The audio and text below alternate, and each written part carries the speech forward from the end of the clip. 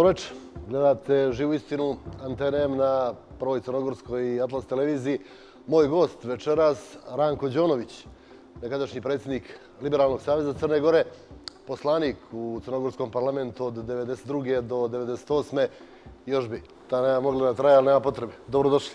Bolje vas našli i hvala na pozivu. Poslanički status je mogao trajati duže jer e, ste i bili izabrani i na izborima 1998. ali ste rekli dosta je politike i... Dosta je politike i dosta je bilo ovaj tih problema tada, zbog čega je taj mandat i prekinut. Mojom voljom i ostavkom na tom posljednjem mandatu koji sam zavrijedio na izborima 2008. godine. 98. 98. Da, 98. Primjećujem da, osim one knjige koja je vrlo primjećena u crnogorskoj javnosti, ne pristajem da se sve češće oglašavate analitičkim tekstovima sa uglavnom eh, analizama crnogorske društvene, prije svega političke zbilje, što pokazuje da taj politički nerv još nije mrtav. Pa očigledno. Ako će ikad biti. Ako očigledno da je tako, ovaj, pišem, a to što napišem, postoje određeni mediji koji objave. Zato budem često ovaj, i pohvaljen da ne krijem, ovaj, da ne budem lažno skroman, od mojih prijatelja i onih ljudi do kojih mi je stalo. Pišem, čini mi se isto kako bih pisao i 90. godine kad sam bio liberal ili kad smo mnogi bili liberali. Ne kako bi, nego kako ste. Kako ste, da. I ovaj, e, kao običan građanin, ne u bilo kojoj drugoj funkciji, niti sa namjerom za bilo koju drugu funkciju. To sam upravo htio da vas pitam. Da nije ovo možda neki nagovještaj da je taj nerv politički pretvorio se u nekog crva koji vas gricka i kopka da se ponovo angažujete politički? Sad ću vam reći, ružno je sada ovaj, kao da sam neki futbaler za koga. Nekih poziva u tom pravcu je bilo, ali za sada apsolutno na taj način nisam htio da odgovorim svojim angažmanom. A iz mnogo razloga kojima sada ne bih pričao, uglavnom, ono što mislim kažem i namjera mi je jedino da to bude u funkciji Crne Gore, države zbog koje sam se i aktivirao, politički 90. i sve radio što sam radio. A ova abstinencija je, pretpostavljam, najvećim dijelom rezultat vjerojatno neke unutrašnje gorčine zbog toga kako se taj angažman završio 98. Da, ima i toga. Ali nisam ne planirao da to bude tema ove emisije. I današnja događanja u Crnoj Gori su isprovocirala u toj mjeri da je veliki broj mojih prijatelja od kojih nisam očekivao nekako mi se okrenuo protiv Crne Gore. Stvari su se izmučkali, izbučkali u Crnoj Gori tako da se teško mogu prepoznat. Prosto u jednom trenutku... Vi njih ili oni vas? Ili se uzajamno više ne poznajete? Uzajamno, uzajamno. Uzajamno se ne prepoznajemo. Nekako na različiti način vidimo Crnu Goru. Razgovarate li makar? Uglavnom se razgovara. Nekad službeno, nekad se pravimo da se ne vidimo, a nekad i posjedimo i popričamo. Hm. Zavisi od... Da. Toga ćemo se možda malo temeljnije dotaći kasnije, a sad do nečem aktuelnijem. U oči ovih lokalnih izbora vidio sam da ste javno podržali Evropsko lice Podgorice. Zbog čega vaš njih? Pa socijaldemokratska partija je partija sa najdužim državnim, ovaj, da kažem, sa statusom zalaganja za državnost Crne Gore. To je partija antiratne, ovaj, antiratnog angažmana, partija koja se zalagala protiv sankcija. To je partija dakle, koja je uz liberalni savez nekako bila najprepoznativija na tom putu u Crnoj Gori. Ovo što danas imamo na političkoj sceni bilo bi prirodno da mi je ta partija najbliža, što i jeste. Što ne znači da nemam primjedbi i kada je ona u pitanju.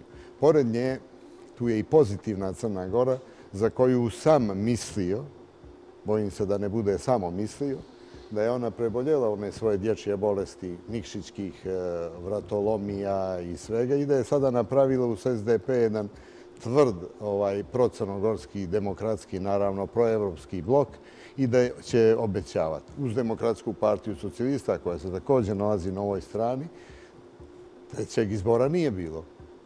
I razmišljajući između toga, eto, odlučio sam se da im dam podršku prije njima nego Demokratskoj partiji socijalista, očekujući da će opravdati moje poverenje. Ukoliko se to ne desi, a u vezi sa nekim nastupima koja sam sad gledao, plašim se problema, našto kod pozitivne Crne Gore, ja ću se i oglasiti.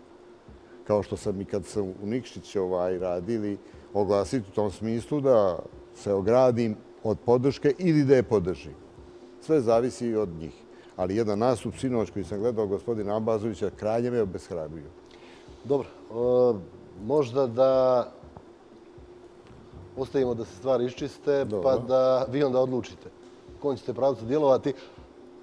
Mene interesuje kako ste vi doživjeli rezultat na lokalnim izborima, prije svega u Podgorici, jer ti izbori su imali neuporedivu specifičnu težinu u odnosu na ostale.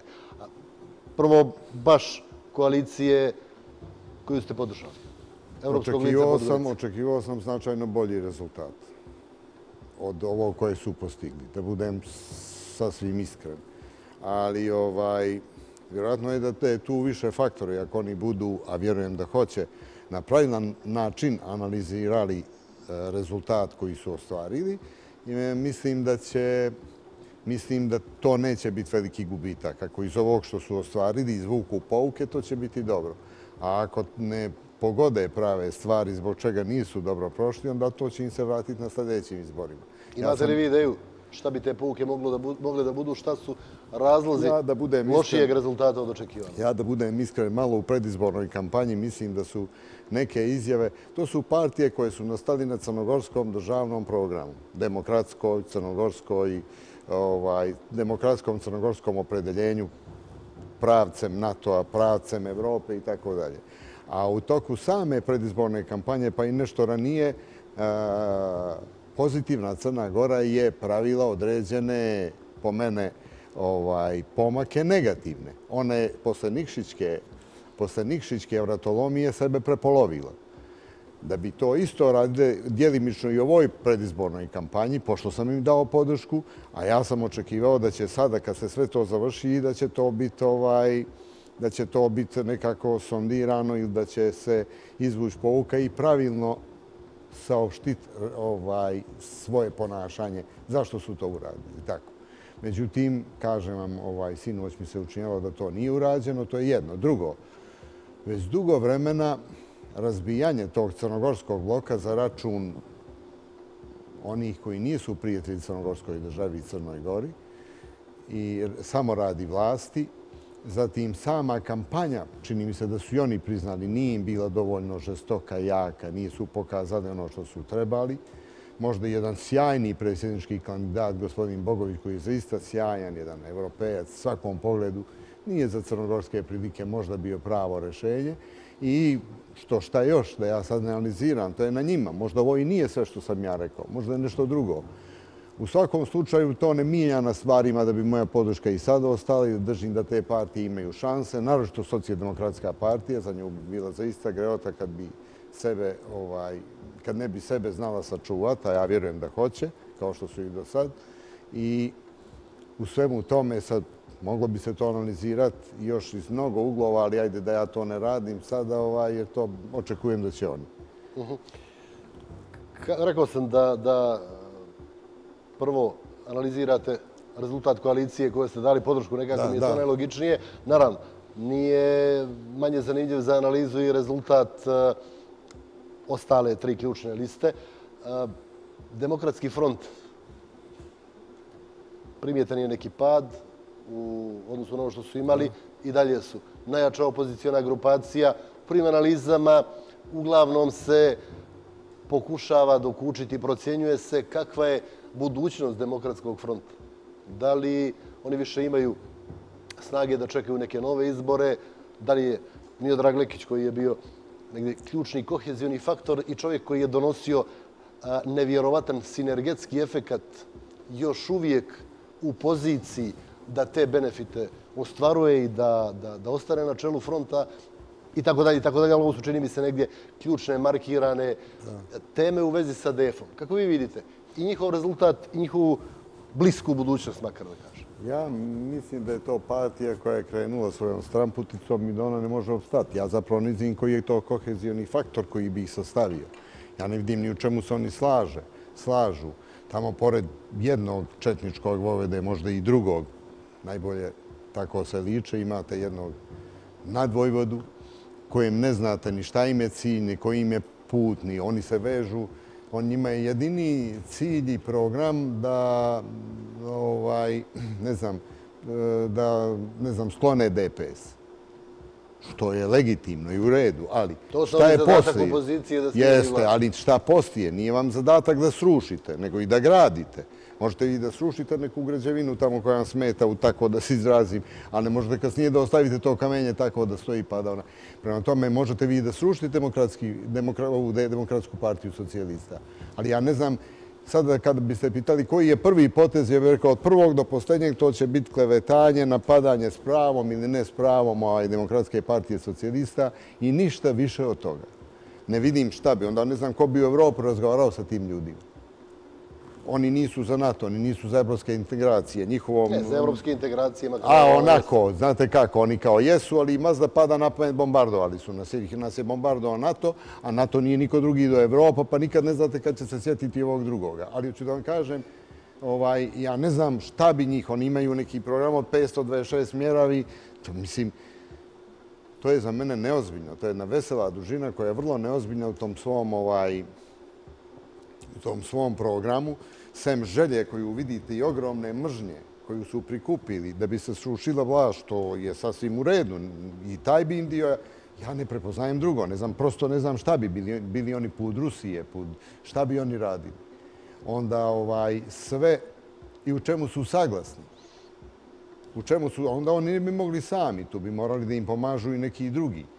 I baš bih volio da mi neko kaže u čemu oni, sem mržnji prema DPS, imaju potpunu saglasnost. Mislim da je demokratski front počeo da pada i to je neminovnost. Oni su otvorili frontove sve, ne samo u Crnoj Gori, nego i prema Srbiji, aktualno vlasti Srbije.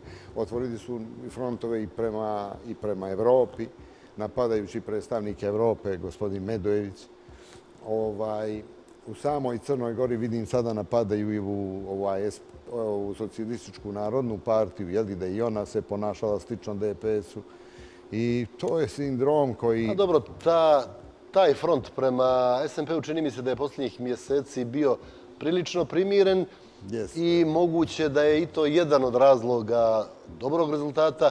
SMP-a ne samo u Podgorici, jer prosto nisu morali da troše onoliko energije kao na nekim prethodnim izborima. Nedavno sam čuo prije par dana da su nešto ovaj, napali. Da, jeste, ali to je čini mi se neuporedivo manjeg intenziteta nego što je bilo. I evo, kad smo pomenuli SMP, dakle čini mi se da je SMP zaista ako na neki način, to sam u jednom tekstu pomenuo, da je njihov kandidat Bečić u Podgorici bio junak tog neđeljnog dana, da su fantastičan rezultat napravili, moguće iz s najteže startne pozicije. Kako vi to objašnjavate? Baš ste ovaj, pogodili to i što mislim. Ovaj, gospodin Aleksa Bečić je imao u početku, kad je počela kampanja, imao je malo ovako, da kažem, nekih pomalo rigidnih izjava.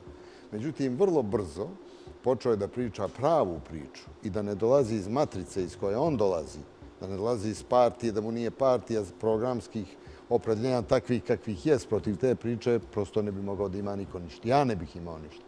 I da se okrenemo budućnosti, i da se krenemo pomiri, da počnemo da radimo i da ovaj mislimo na sebi, na svoju budućnost. Sve to što je potpuno... I ne samo da je pričao, nego je djelovo iskreno, dobronamjerno i od početka je znao o čemu priča. Dakle, čovjek je bio apsolutno u materiji za razliku od nekih. Ali, uvijek ima ono ali. On nije došao iz jedne da kažemo, proevropske i prograđanske, nego jedne koronacionalističke partije, partije koja ide po svoje mišljenje u Rusiju, partije koja ide po svoje mišljenje često u Srpsku pravoslavnu crkvu, čujem da su česti gostitelji i ovaj, ruske ambasade, sve je to u redu. Niko to njima ne može da zabrani, to je njihovo, ali prosto ne, upo, ne upućuje na nekakav sinhronizovan rad Crnogorskog parlamenta i svih političkih snaga u Crnoj Gori. Ja sjećam njihovog šefa koji je, gospodina Mirića, koji je to nedavno izavljivao da bi ponovo, i sad vjerujem da tako misli, glasao na referendumu protiv Crne Gore, da je, ovaj, je govorio da navija... Fair, fair, fair interpretacije za zajedničku državu. Pa jest, ali to nije ništa nego protiv Crne Gore. gore. To je samo nova preva. I pored toga je, ovaj, šta je ono rekao, da, da bi, da, ali on idi onaj, mislim da i on, da bi da između Srbije i Crne Gore navijao bi za Srbiju, ja takvim ljudima onda ne vjerujem. To su sad... Tu, tu, tu, tu Milić je u izjavu ne zna. Ako nije njegova, jeste Mandićeva, ali mislim E da pa. su tu saglasni. Evo, izvinjavam se ako sam pogrišio, ali vjerujem da je tako nešto. Znate što ću vam kažem? Da ljudi koji ne vole Crnu Goru, koji ima politički, politički ka ovaj, djelovanja ne idu iz Crne Gore i za Crnu Goru, znate kako Englezi kažu, mi nemamo vječite prijatelje, neprijatelje, mi imamo vječite Vječite interese. interese, A ja bih samo, ovaj, ja ću biti srećan ako doživimo da mi imamo u Crnoj Gori vječitu Crnu Goru. Da nam je Crna Gora cilj. To da li je neko Srbin, Crnogorac, musliman, Albanac, Bošnjak, to je već posebna stvar. Ali oni koji, kojima Crna Gora nije na srcu, prosto ne mogu da ih gledam kao patriote i kao ljude koji misle dobro Crnoj Gori. To je stvari bio i zanimljiv moment u cijeloj predizbornoj kampanji. Ostalo je dakle da čujemo vašu analizu izbornog rezultata Demokratske partije socijalista. Dakle, oni nastavljaju da dominiraju, Jeste. nemaju u svim ključnim opštinama, odnosno gradovima, apsolutnu većinu, što znači da nije nemoguće da postanu smjenjiva partija od Podgorice Da. pa preko bara u Pljevljima nijesu imali ni dosta vlast, ali su Pljevlja važna, čak i u Bijelom polju i tako dalje, iako to nije teorijski, iako je to samo, čini mi se, teorijska mogućnost, ali svejedno. Dakle, ono što je a, za analizu, čemu vi vidite ključne uzroke, odnosno elemente te, a sad više nego dvodecenijske dominacije DPS-a na političkoj sceni?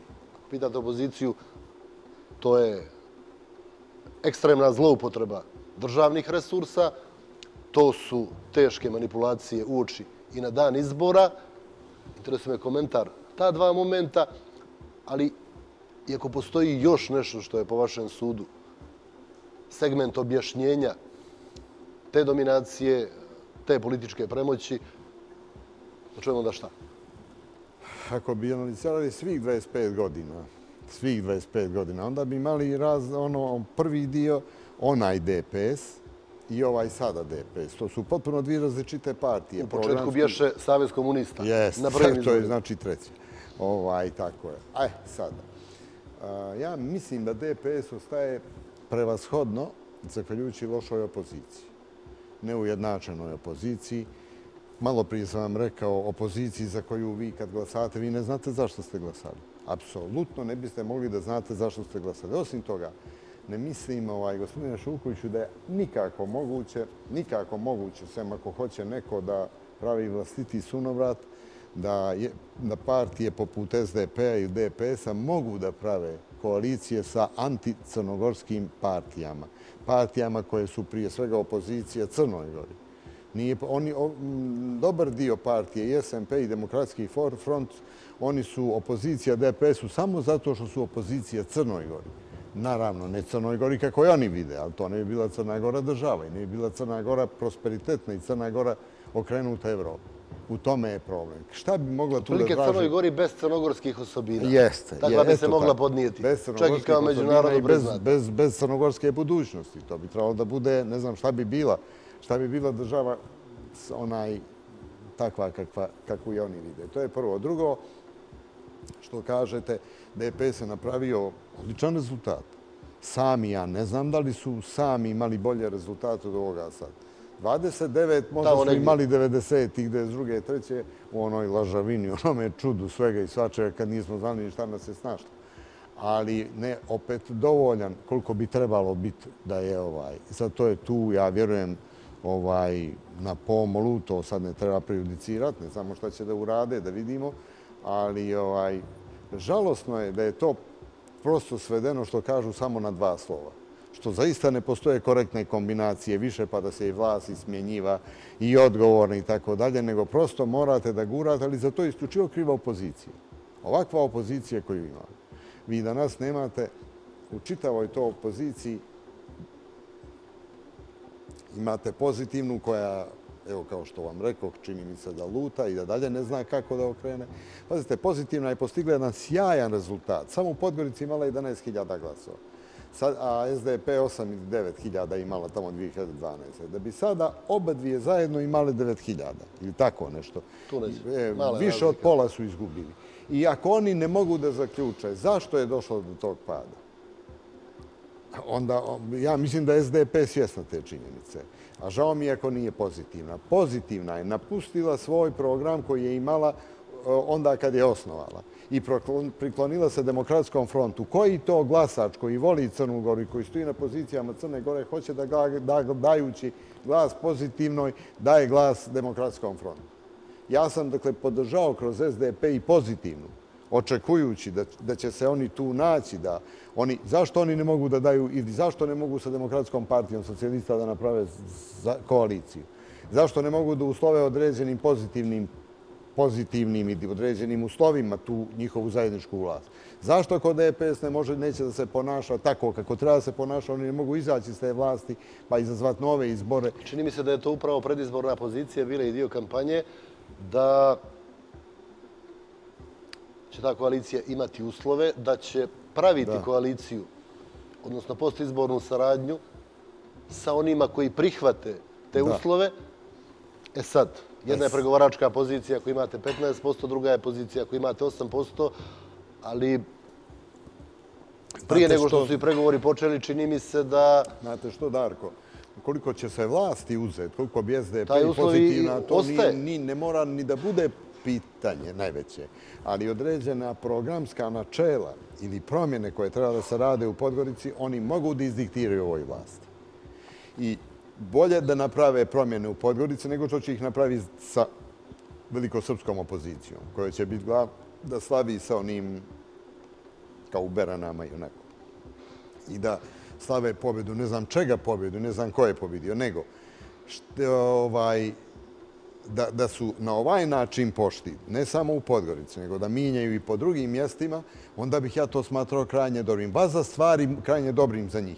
Vas da oni stvari mogu da vrate na početak. Pozitivna SDP ili sam SDP. Uvijek mogu da vrate stvari sam na... Možda bi bilo i najbolje. Neka pozitivna pokuša s frontom, a SDP neka da legitimitet u ovoj vlasti. I to ne iz čista mira, nego kaže da kaže, da ih uslovi, da SDP nije bitno će li dobiti 20% vlasti, 5, 10, 10, 13 gradonačelnik. Bitno je da se programski traži da se u Podgorici uradi to ili uradi to ili da se korupcija na ovaj način obračunavamo sa njom, nepotizmom, njih ili ne, ne, da ne nabrajam. Sad oni će se tim baviti. Ja da sam u tome znao bih tačno što bi tražio. I ukoliko ne dođe do realizacije tih zajedničkih dogovara u tom tom ovaj ugovoru koji bi napravili onaj, onda bi, onda bi ovaj, gospodine Šukoviću, to, bilo, to bi bio kvalitet. Ne znam u čemu je kvalitet da od jedan put 100% srušite ovu vlast i da... Pa znate šta? Ovo u krajnjemu nije republička vlast. Ovdje se sada ne odlučuje ni o čemu ni u NATO, ni, ali je vrlo loša poruka ako bi se ponovili Rožajsko, Beransko i tako dalje nekakve poruke. Iako bi vam na vlast došli u opštinama, sad u 15-20 opština došle one snage, koje su protiv tih evropskih, NATO i tako dalje integracija ili uslovljavali. Neće on, on, niko vam neće reći mi smo protiv evropske integracije. Ali mi tražimo ovo ili tražimo ono, ili Njemačka sad ne da znate, ona nas je bombardovali tako da vi vidite šta oni rade. Kako možete biti protiv, ko, ko čini NATO? NATO čine evropske države. Nije NATO neka satelitska organizacija, nego to je organizacija tih država. Za sad je problem NATO što nas je bombardovao. Ja sam već jedan put rekao, nije nas NATO bombardovao, nego ovi što su protiv NATO. I kod nas, i oni iz Beograda. Bombardovao nas je Slobodan Milošević sa njegovim režimom dedinskim i ovi što su ga ovdje podržali. To, nego, to je duga priča za neku drugu temu. Druge teme nakon prvog bloka reklama. Vaš. Ponovo smo tu, podsjetit ću, ako se neko ključio kasnije, moj gost u živoj istini, Ranko Đonović, nekadašnji predsjednik eh, Liberalnog savjeza Crne Gore, poslanik u Crnogorskom parlamentu od 1992. do 1998.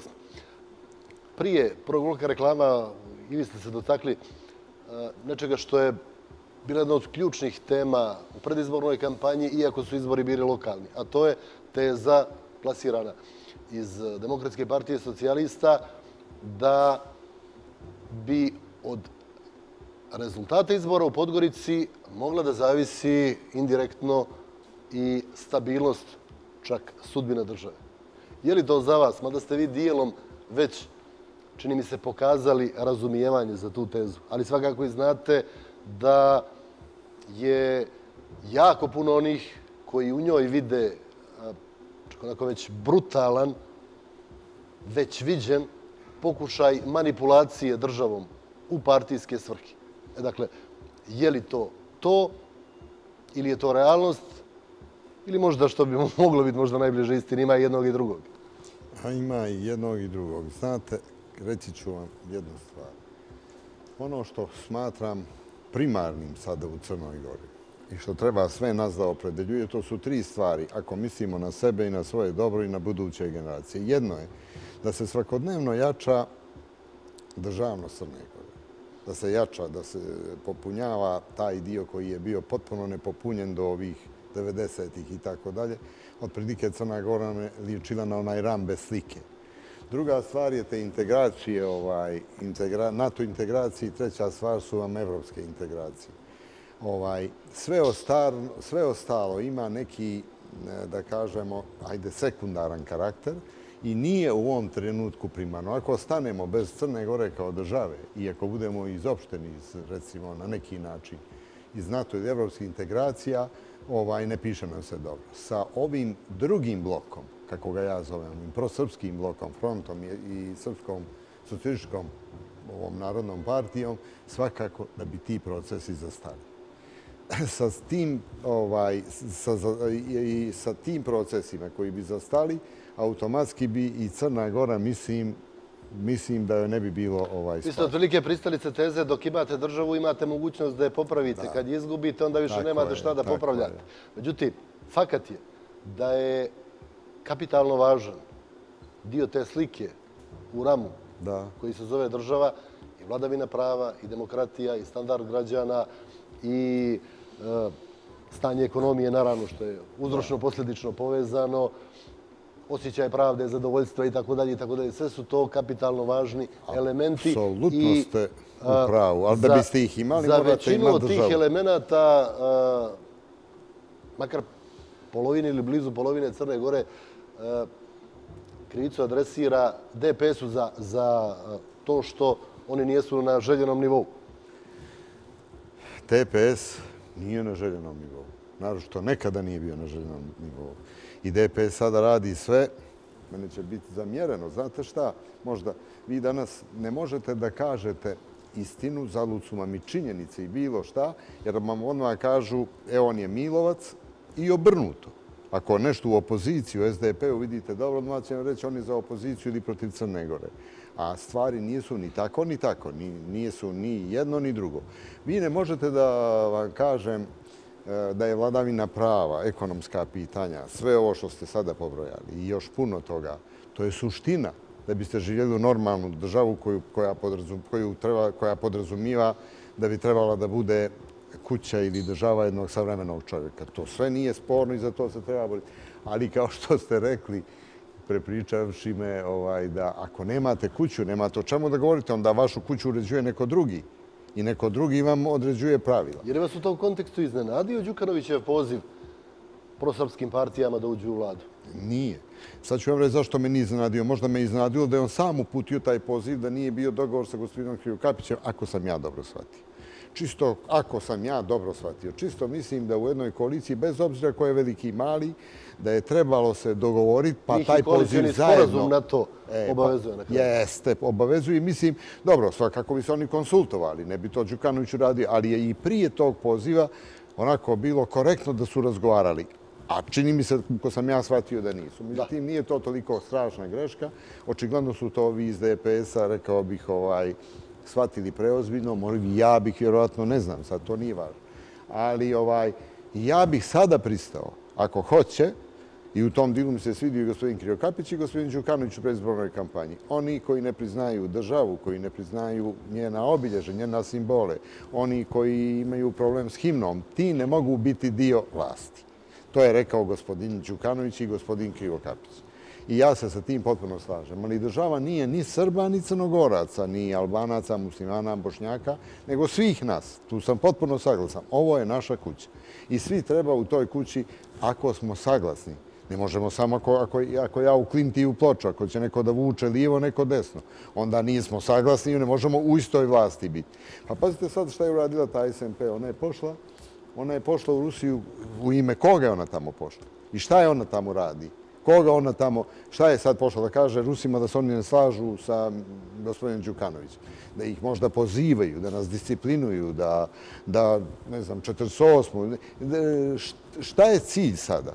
Možda i to je jedan od razloga što je taj, to biračko tilo malo ovaj, poraslo.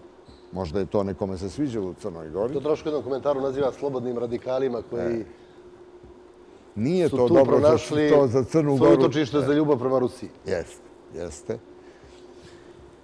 Ja to, naravno, takav postupak krajnje osuđujem. Smatram da i vlada i skupština ovaj, trebala uputiti određene. Niko njima ne brani da putuju u Rusiju, ali da oni tamo traže prijem, da bi oni rekli da se ne slažu s onim što radi gospodin Đukanović, to je krajnje nekorektno. To je nož u leđa Crnoj Gori, po mom shvatanju. Ta tema, čini mi se, zaslužuje i još malo dublju analizu. Dakle, kao da postoji neka matrica. E, gotovi svih partija to izbacuju kao ono u džuboks da ubacite i dobijete dio, svog, dio njihovog programa. E, nacionalno pomirenje, e, okončanje podijeljenosti Crne Gore i tralala i tralala. Ne, to je priča za dakle, naivne. To je, to je to nije. čini mi se, i potpuno prenaglašen problem i potpuno naopako postavljen. Tako je. Jer ja ne vidim da u Crnoj Gori ratuju Srbi, Crnogorci, Bošnjaci, Albanci. Još da vam kažem, kad pričamo o Crnogorcima, otvoreno stvari treba reći, s kim su Crnogorci u problemu? Šta su Crnogorci bilo kome osporavali? Samo je Crnogorcima sve uskraćeno u Crnoj Gori. I šta imate vi? Šta sad Crnogorci se mire sa Srbima? Kad su Crnogorci branili, nama je ovdje, Darko, prije 25 godina branjeno da budemo i 20 i Crnogorci. Mi smo satanizovani samo, samo zato što smo rekli da smo Crnogorci, pa su se s nama isvrdali 100%, što smo mi prihvatili, pa 100%, kao što i Francuzi, i Englezi, 100% ako smo i mi Crnogorci. Onda nama su da nas sve crkve ovaj, oduzete. Mi imamo problema i sa jezikom. I, I sad treba nas da miri neko sa kim da nas miri. Šta mi osporavamo Srbima? Šta osporavamo bilo kojim manjinama? Mi ih prihvatamo da ne budu manjine, da smo u svakom punom smislu partija svih, da smo država svih građana Crne Gore. Možemo mi... Ne, ali izvinite, ali to imate i u platformi DPS-a i to jako naglašeno. I u platformi Evropskog lica Podgorice također gotovo da nije bilo nijednog predizbornog skupa, da nije bilo priče mi pomirit ćemo, spojit ćemo Crnu Goru. Da, to se smatra, vjerojatno kad se to govori, uvijek se misli na one druge, a ne na Crnogorce. Front, naravno, ista je to priča. Oni ali, se pomirili, pokazali ajde, da mogu... Ajde, ajde, s kim treba da mire mene i vas? Pa ne znam, s kim, nas, s kim Crnogorci, pa vam kažem, s kim mene da mire kad ja čitavo vrijeme, 25 godina držim ruku ispruženu prema svima, a oni neće da je vrate, neće da pozdrave. Oni hoće, oni Crnu Goru, pa šta treba, vi vidjeli ste sada, ovaj, jako se ne mogu poistoćivati rožajski scenariju i bjelopoljski. Ko je tamo pobjedio? Da nije to pobjedila Bosna, da nije možda Srbije pobjedila? Miste Beranski, Beranski i, i, i Rožajski. Da. I Rožajski. Ko je to pobjedio? Pa mi hoćemo ovdje da pobjedi Crna Gora ili oni hoće da pobjede neke susjedne Govorite države? o proslavi u, u Beranama više yes. analizirano yes. u srpske zastavi, izvikivanje ovo je Srbija. Tone... Ovamo uz veliki broj turskih, bosanskih u Rožajama. Da, to govorim ne zato što mene smeta bilo koja zastav ispred bilo koje kuće ili bilo koja proslava, ali da li je na tim izborima pobjedila bošnjačka stranka? Jeste, a nije pobjedila Bosna i nije pobjedila Turska. Kao što u Beranama nije pobjedio ovaj, nije pobjedio ovaj, nije pobjedila Srbija, nego su pobjedili moji i tvoji sudržavljani pobjedila njihova partija, neka bude sa srećom, neka probaju, neka vide, možda će posle te pobjede da pobjede i na drugim mjestima. Ali ako misle na isti način da pobjeđuju, onda oni pobjeđuju Crnu Goru. Oni ne pobjeđuju DPS, nego pobjeđuju Crnu Goru i sa tim se ja nikad ne bi, ne, neću složiti. U stvari, u stvari, ja ne znam šta posle izbora treba da rade državne zastave drugi. Mislite sad, kad bi u Beogradu pobjedio, ne znam ko pobjedi, pa dođu s hrvatskim zastavima iz Beogradske skupštine. Ili obrnuto na, tamo onom, u Zagrebu na Banu Jelačića da se pojavi sa srpskim zastavom pobjedni. Pa šta je to? Pa jeste vidjeli to vi da, da u Rusiju s američkima ili... pa mislim, to je absurdno. I onda ovaj... A, Ali a ono je- niko se od partija nije ogradio. Čak se, čak se čude lideri, pa to je bilo lipo, čem, kakva je to ksenofobija. Šta to, pa ništa to ne smetaju i tako dalje. Oni žele glasove, lideri. Liderima je sve jasno, otprilike. Oni žele glasove, žele vlast i žele da što prije ovaj, uklone DPS. Njima je potpuno periferna i Crna Gora i bilo koja vrsta ideologije ovih tamo i zato oni neće da se zamjere. Zato vi ne možete, evo već tri godine da dobijete od gospodina ovaj, Lekića, ovog što je šef ovim Vojvodama, ovaj, ne možete da dobijete, ne možete da saznate uopšte zašto je on. Ni jednu jedinu stvar, njemu je NATO na 15. mjestu, njemu je nešto da vidi jer je neko negdje nešto ukrao na prvom, njemu je... Znate li zašto? On ima stvarno veliki problem. Kako da on priča priču i, i Medojevićevu i Mandićevu i kako da priča priču za svakoga, to je neka samo mogao DPS.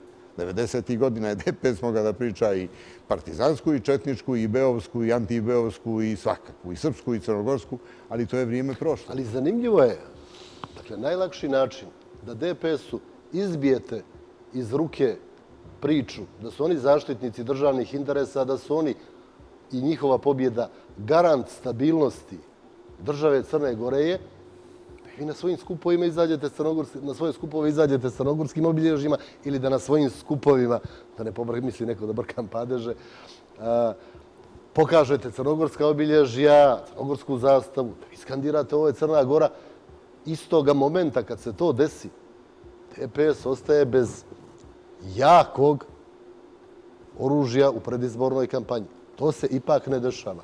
I to, to uopšte nije bezazleno pitanje zašto se to ne dešava. Pa, ovaj, bojim se da ću biti pogrešno shvaćen. Kod mene je još jedna druga stvar vrlo interesantna. Postoji jedna, recimo, kod izbora, kad analizirate malo izbore, pa pogledate što nikako ne volim da radim i što nije korektno. Pogledate nacionalni sastav Crne Gore i šta se dešalo. Nekako vam se poklopi da je najveći dio Srba glasao za zajedničku državu sa Srbijom možda i možete razumijeti, iako ja ne mogu da razumijem, ali sada da ne ulazim u to. S druge strane, danas upravo ta rigidna srpska politika koja je Crnoj Gori uradila, što je uradili samo i Srbiji uradila, što je uradili čitavom okruženju, a ne malo i Bošnjacima i, i Albancima, da vi sad iz Crne Gore sa upravo nosiocima te politike imate jednog Albanca iz Ulcinja i jednog Bošnjaka iz Plava iz Gusinja koji bi sa njima da prave koaliciju. Kada biste ih u nacionalnom smislu sabrali, vi biste prebacili pa 50%. I sad me čudi zašto mene, čovjeku koji je neke pravoslavne, da kažem tako, vjere, i A po ovom neke bih rekao da nijeste baš pretjerano. ne, ne, ne, nego kažem, eto tako, nisam toj- ove druge. Ne, ne, apsolutno nisam, što da, ja sam agnostik 100%, nego kažem, koji pripadam tom korpusu, na neki način, pripadam ako istorijski. I sad ovaj, ja i dalje se plašim od tih takvih razmišljanja i onaj, a ne plaše se, recimo, ne plaše se od njih e, ni Albanci, ni ovi muslimani, kad bi kroz ove dva, tri čoveka politički prepoznativa. Ustalom, gospodina Šabovića i Abazovića. I sad vi pomišljate da njima nije, pomislite, to je politika, a u politici nikad nije, da njima nije i cilj što, destabiliz, što više destabilizovati Crnu Goru, pa je lakše podijeliti. Jer u čemu bi mogao gospodin Šabović da vidi većeg prijatelja u demokratskom frontu četničkih vojvoda ili gospodin Abazović i, još nešto.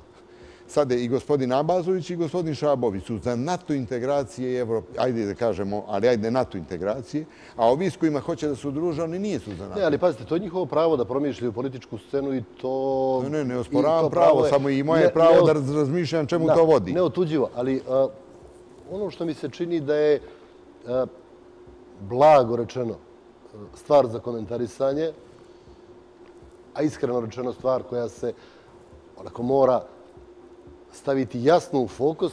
Fokus je teza. Crna Gora je a, država svih nas, jednako moja kao nekog iz DF-a, kao nekog iz...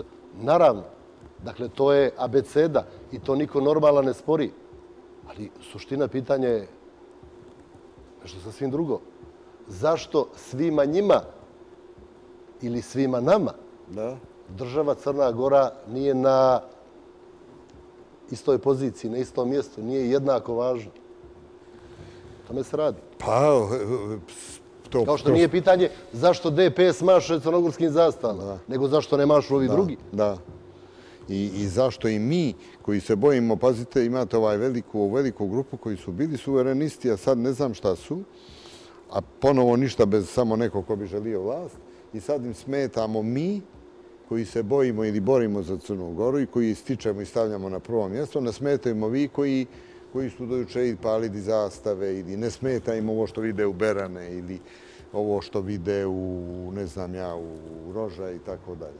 To je, to je jedan vrlo zanimljiv fenomen i volio bih da čujem vaš komentar. Što imate u Crnoj Gori? Jedan, čak bojim se, ne mali broj izvornih suverenista koji su zbog neke, a ponovit ću opet, ogorčenosti, razočarenja, odnosa prema DPS-u i Đukanoviću personalno sebe doveli u poziciju da ne glasaju na referendumu za nezavisnu Crnu Goru, da bojim se da, da neću pretjerati, da jednostavno danas nije su prijatelji Crnoj Gori. A dobro ste tako da, da, da vam kažem, ja neću ih naravno pominjati, takve i poznajem.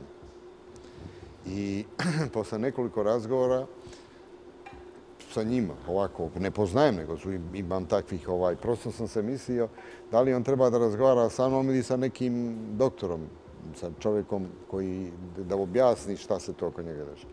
Ljudi su očekivali, vjerovatno, da a i lideri su pomogli da takvih očekivanja bude. Oni su očekivali da kad dođe vrijeme da Crna Gora postane država, da će njihovi prvoborački staž, staž i staž jednog druge, da će ti, ovaj, da će određene zasluge, određena priznanja dobiti.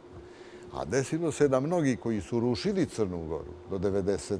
8. 1. druge, kada su se poslije prešaltovali, ovaj, budu na neki način nagrađeni i tako dalje, oni ostanu.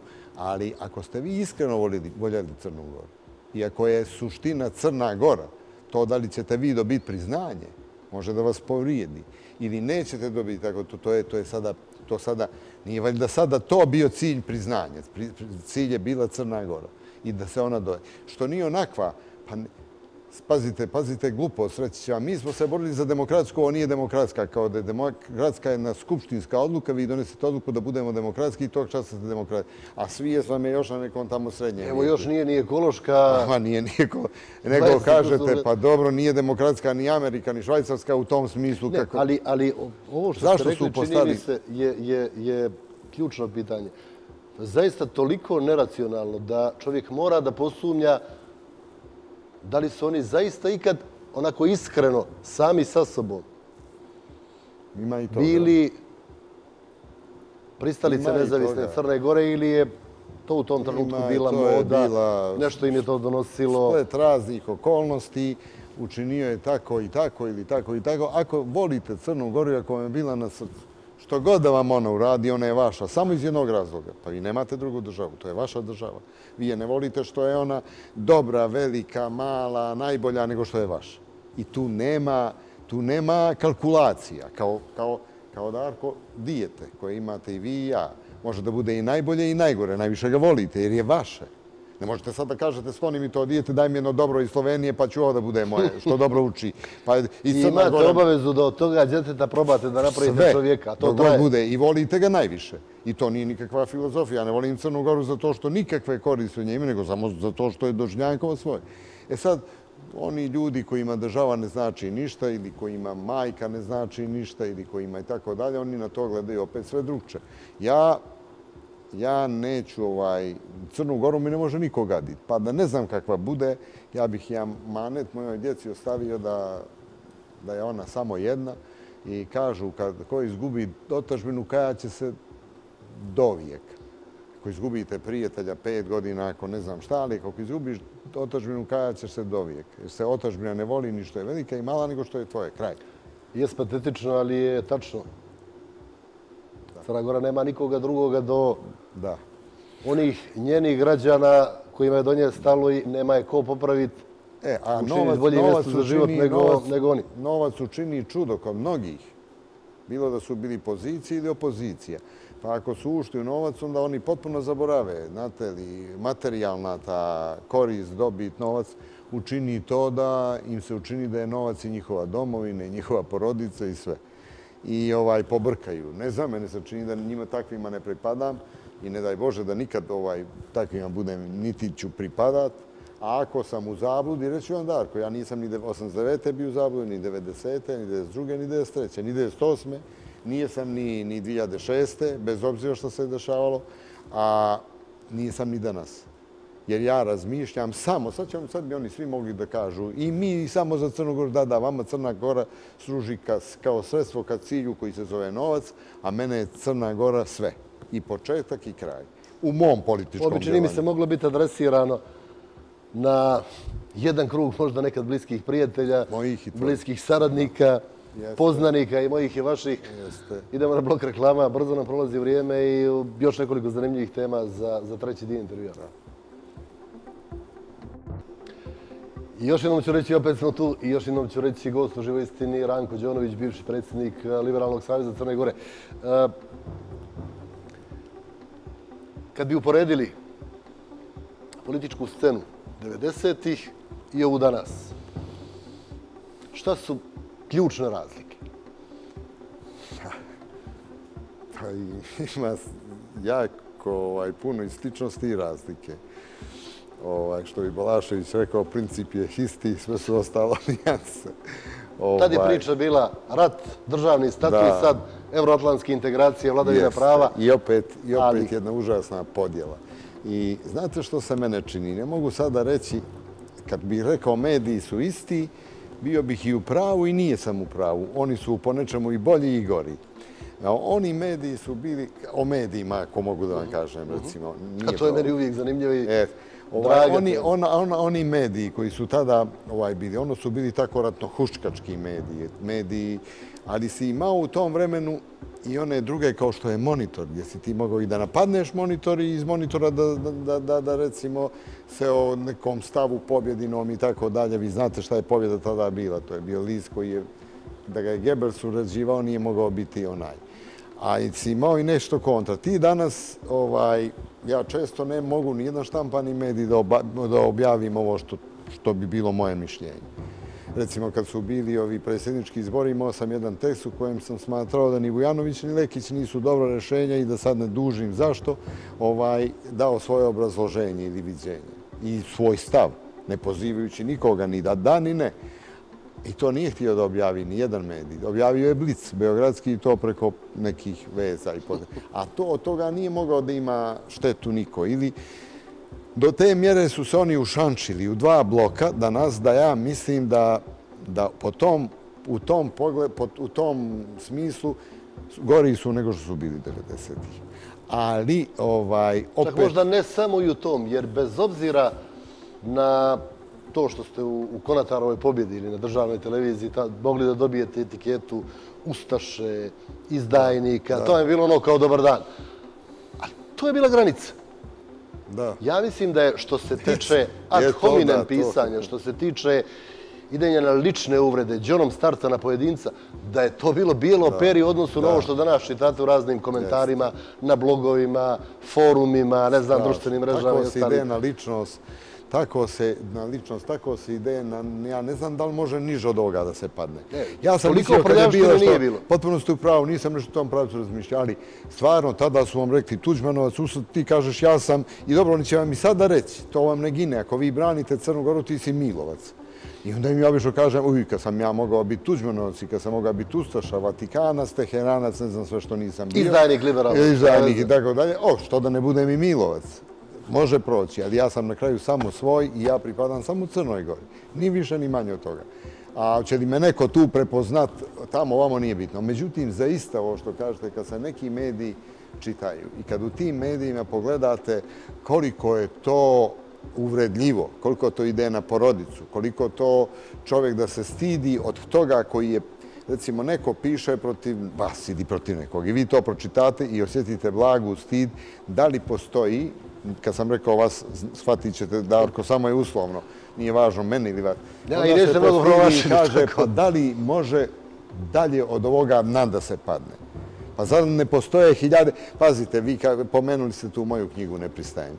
Ja sam, kad sam ovo gledao sad, pa sam predistavao kad sam radio knjigu i gledam, pa ja sam tamo napadao i Đukanovića puno. Mene se čini na samoj granici ono dozvoljenog. E, Bulatovića, Gavra pokojnog predi, nije važno. Ali nikad to nije bilo. Nikad nisam rekao mafijaš. Nikad nisam rekao lopov nego kad je on rekao da, ne znam, da o nama misli isto što ovaj, o Ustašama, ja sam mu rekao, pristajem da budem Ustaš. Kad mi Momir Bulatović kao predsjednik Crne Gore rekao ko ne ode na ratište, to je kukavica izdajnik, ja sam mu rekao, ja neću da idem, a ti si kukavica izdajnik. Ali to, ja, ja nije sam, ja sam samo na uvrede mogao da odgovorim. Vodilo se, računa Vodilo se računa o nečemu. Ja gledam monitori što je pisao gospodin Miško Perović, već veliki Miško Vukmanović i mnogi, vi, Ređić, Tomović, Vesko, da ne nabrajam, kako god hoćete, Esadi, pa to je bio, to je, to, to je bilo, to je bio list, častan list u svakom pogledu. Ja znam da su mi deset puta micali iz monitora neku ružnu riječ, pa ja reagovao kod, kod ovaj gospodina Perovića da mi se vraća deset puta, da bi da nas to prevazilazilo svaku granicu ja u tom pogledu to je, to je, to je krajnje loše. Vijesti su isto takve. Moram priznati da dan vrlo rijetko čitam, ali pročitam i njega. I moglo bi se tu i pobjedi, naravno, zamjeriti za neke ovaj stvari, za neki nivo pisanja. Ja to čitam i jedno, i drugo, i treće, i sve, ali Znate šta, to, one etikete s početka 90-ih čovjek je dobrim dijelom mogao da objasni time što su ljudi bili ipak neinformisani. Šta ste imali dva, tri glasila, jednu strašnu propagandu i kraj priče. Onda je logično da vam kažu da ste Ustaša, Vatikanac i slične gluposti. Danas nije taj slučaj i danas je, bojim se, takvo pisanje ogledalo lošeg karaktera onog koji pišu. Ali... To govori o njima, ali i o nama svima, o slozavanju, Znate, sve će se, Darko, nekako nadoknaditi, bojim se, a najteže će ići ovaj krah morala, ovaj pad koji je tu tako nastupio i koji vi srijećete svugdje na ulici, srijećete ovaj, među prijateljima. Vidite da se neko oduševi, nek oduševi se, jesi čitao to i to nisam. Znaš kako mu je rekao? I sad ti očekuješ nešto... Neku analizu strašnu. A on, on kaže što mu je rekao, ja znam, ovaj, rekao šta ti je tu fino, to je ružno ovako da se našališ, a ne u novinama da ne pe... Pa ima neke razlike. Kažem vam, e, kažem vam, ako hoću da budem objektivan, mene pobjeda nešto i objavi.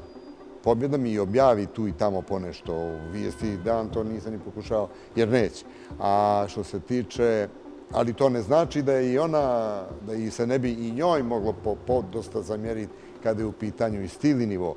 Može se reći da neko nije dobar, i da je neko neprijatelj države Crne Gore i da je nepismen i što god hoćete, ali se to ne mora govoriti na urediv način, na psovački način. Taj gubitak, e. gubitak tradicionalnog morala crnogorskog, gubitak poštovanja kao kategorije je možda najveći problem crnogorskog društva u konkurenciji mnogih drugih žestokih problema, ali odnosno mnogo na, na, na priču o medijima. A dobro, kažem, to, tako. To, je, to je meni uvijek draga tema, zato što... Portal analitika mi je objavila sve. Eto, portal analitika i niko nije me pozvao od ovih koje sam prozvao ni da je portal analitika ovaj Đuranović. Pa to je nekoliko, nekoliko glasila koja se ne pokušavaju, nego se bave novinarstvom u Crnoj Gori, ali premalo je to. Ali i bit će valjda još. Da. Što sam htio još da vas pitam? Uh, ono što mi se čini kao jedna od bitnih razlika političke scene 90-ih i se vratim onom pitanju malo prije. I sad, je što na uh, opozicijonoj strani nemate više tako jake, harizmatične lidere kakvi su bili Slavko Perović, Novak ili Barda, ali imate nešto veće procente na izborima koje opozicije osvaja. Pa imate, vrijeme je uradilo svoje. Neka događanja su uradila svoje. E, Slavko i Novaka, pogotovo Slavko, oni su bili toliko, vi znate, šta je sve, kakve su kampanje užasne i laži i šta se sve sučilo na, na, na, na glavu i na život Slavka Perovića. Tako da nije mogao, ja se čudim i kako smo niko glasova osvajali u onom vremenu. A osim toga ljudi su, ovaj, obično kažu, desilo se to i to, kako znaš, pročitao sam u novinu. Ili bilo je na televiziji. I ti si imao jednu blokadu koju nije si mogao tu. Za mene je fenomen i mene se čini da bi srpska opozicija kod nas u Crnoj Gori trebala da se ugleda na gospodina Vučića. Ako jedan radikal onakvim, da ga slobodno nazovem, profašističkim i fašističkim djelovanjem, u roku od godinu dvije preokrene i dobije većinu u Srbiji, tu bi mogao da bude recept spašavanja i ovih, pa da možete i glasati, da ne kukate ako prode i dođe ovaj blok i onaj blok. Jer vi vidite da i kada je u pitanju Kosovo i kada je NATO integracije i kada je sve ono, vidite da gospodin Nikolić ode, ja se izvinjam, kleči, molim za oproštaj. Samo koju godinu prije rušio ambasade po Beogradu. I sad Stavljao tablu. Jeste, sad biste vi rekli da, vam je, da je mene neko to, stalno se izneđujem nečim i ja, evo, posle ipak posle, da je mene neko prije pet godina rekao da će to moći da radi i Nikolić, i Vučić će ovo da radi, ja bih rekao prvo to je nemoguće zbog njih, što u njihovim glavama to nije. A drugo, ako to urade, ne moraju ni izbor izlati. I oni to uradiše i osvojiše, osvojiše. Zašto tak, tako nešto ne mogli da urade Mandi Zanilović i ostali? Zašto ne mogu da prepoznaju tim prije, tim prije što ne vidim da im je naklonjena baš ta Srbija sada, makar sada pa ali je to nalog Evropske unije, da ne ulazimo zašto je to došlo tako, zašto su Vučić i ovi nisu digli ruke od Crne Gore, nego su prosto prihvatili da budemo prijatelji, a ne neko ko ima aspiracije prema crnogorskoj teritoriji. Za razliku od ovih iz Crne Gore koji se nude, kao da smo na buvljaku, nudi se. Ovo je Srbija, a niko ti ne traži to. Isto to se dešava i na drugim mjestima tamo i tako dalje. Zato kažem, kad ja kažem kako da ne, ako me neko pitao da li sam za Mila danas i bili ti Milu dao, dao bi mu, dao bi mu podršku. Nije Milo za Crnogoru, jeste, jeste. Nije ni za Afganistan, nije, nego jeste za Crnogoru. A to je zbog njegovog interesa, on je za Crnogoru, pa zašto je sada to me o tom potom. Znaš i da je on radio ovako, je to i to radio, izvolite, procesuirajte i tako da. Ako ne možete sad kad pođe s političke scene, moći ćete. Mene to sada ne interesuje. Ono što me interesuje, ako hoćete da ga rušite, rušite ga s platforme koja se zove Crna Gora. Dogod to ne radite, dogod to ne radite, ja ja bih volio da ima onog mog liberalnog savjeza iz 1991. 1992. 1993. i onih partija procrnogorskih. Onda bih znao i za koga ću glasati, Milo bi bio na ko zna koje mjesto, možda zadnjem. Ali dogod ima onih kojima je Crna Gora trn u oko i koji se ježe na ime Crna Gora, država Crna Gora, ne Crna Gora geografski pojam. Svi oni vole Crnu Goru, ali neko voli tamo malo, neko tamo malo da izdijeli i tako. Ovaj, ja ću je tu prepoznavati. Hoće li mi sad neko reći da sam Milovac ili da sam Rankovac ovog, ne svoj, nego Rankovac. A, a hoće? A, a hoće, to, to me najmanje interesuje. Pa mene su Darko govorili 90. i to svi, i mene da sam Tuđmanovac. Samo što sam govorio, slobod će srušiti Jugoslaviju. Nastaviti ovako, na grdiće Jugoslaviju. Ti si Tuđmanovac. Ama nije sam, i, i, i time sam postavio još gluplji što sam se pravdao, trebao reći da, da, Tuđmanovac. I sad, sad već ne, mislim, to, ti si pa jesam, jesam tebe Obama bliže nego Putin bliži. Znate zašto kaže bliži? Ja neću da se raspravljam. Ispred sebe imate ljude koji imaju prosto su stavili jedan armirani beton ispred sebe i ništa od toga ne vide i ne postoje činjenice. E, negdje sam tamo i napisao, kad, dođe, kad oni dođu u sukop s činjenicama, teško činjenica. Ali meni je najsimpatičnije kod te vrste ljudi što je njihov nastup uvijek s jednom ogromnom dozom moralne superiornosti. Dakle, vlastitu glupost naravno da ne primjećuju, ali tako fino, moralno, superiorno nastupaju. Kako ne razumiješ, kako ne znaš. Ona statuje... Da, mu se učeš i izjaviš e, onako i kažeš da sve si upravo. Kad smo pač Mosva, tamo aj neću ime napominjati, samo da vam kažem, Darko, kako, kako, ali to, to se nekako mora prepoznati i, i prema tome se odrediti ozbiljno s tekvima raspravljati, govori više o tebi nego njima. Ovaj kaže, jedan čovjek mi kaže, kako ne znaš, mi Rusija, mi vojno, nešto bi kakva Rusija, pogledaj, rekao tu, brate, u dvorište, gdje si dobačio do Rusije. U Rambuje su dogovorili ovo, pa govorili, a vidiš čovjek, mislim, ne. Ja mu kaže, i odnijem put mi kaže, znaš ti da je Putin iz Crne Gore? sad nikad čuo prije, vjerujem da ovo gledoci, da će ovi gledoci... Da niko nije čuo. Niko nije ni čuo. Ja kažem, okle je Putin, sad više ne znam. Otprilike mu je logika bila kao petnica ili neko mjesto na P slovo, samo Putin P. I ta, e, rekao, vidi Boga, ti nisam znao. A rekao, vjerujem da i ti nisi znao. Znaš, rekao da je Kennedy bio ovaj, iz Crne Gore. E, nisam znao, odakle? Rekao, od Kilibarda iz Banjana. E, vidiš, to nisam znao. Iz toga časa čovjek je to, ovaj, on se nije nasmijao, nije posumnjao. I onda kad gledaš, kad vidiš šta ti sa tim ljudima možeš da uradiš. Kad istovremeno imaš, imaš ove koji stalno hoće da im pogrešno ovaj, daju informacije, da ih zavode, da ih navode i ti imaš na kraju suprostavljene te dvije Crne Gore. Ja mislim da bi, da bi srpski, znači ovaj demokratski front i socijalistička ova, ova SMP, socijalistička narodna partija, da bi mogli istorijski jednog dana hoće, možda ne ovi lideri, ali momci kao što je Bečić, neki novi mladi momci ovaj, tamo i u frontu i tako dalje, koji će se okrenuti tome i okrenuti crno. Pa ništa nije trebao da urade bez da se okrenu Crnoj Gori. Niko im ne smeta da budu ni Srbi, ni da doživljavaju našu zastavu, da je srpska. Jer ako je ono bila srpska, pa neka i ova vaša srpska, ali ova je naš. Himna srpska je, ali ovakva je. Vi je doživljavate srpsku, mi crnogorsku. Grb je takav kakav jeste i tako dalje. To su nosili vaši džedovi kao i moji, to je naše. I moj džed je možda govorio srpstvo u smislu vjere, a tvoj također, ali ti misliš da je u smislu nacije, nemoj zbog toga da se koljemo 25 godina. I daj, okreni se, ovo je tvoja kuća. I treba i Srbija i Crna Gora da uđe zajedno u Evropu i da uđe u NATO integraciju. Ali dok vi imate to, imate što ima. Ima dosta pitanja još, ali nemamo više vremena. Hvala što ste bili gosti. Hvala vama. Zahvaljujem na najljepši način. Poštovani gledalci, vama hvala na pažnji. Prijatno večer, vidimo se narodnog petka u 20.10. Sad ponovo imate reprize, znate termine na Atlasu. U ponoć i u šutra u 15.30, u 12.30 u neđelju na Prvoj Crnogorskoj. Slušajte Buksovce večeras u ponoć na anteni. Posljednja emisija u ovoj sezoni. Nećete imati prilike da ih čujete do prvog petka u oktobru. To je to, uživajte, nadam se, u lijepom vikendu i i ne znam šta bih vam rekao dalje, osim još jednom laku noć.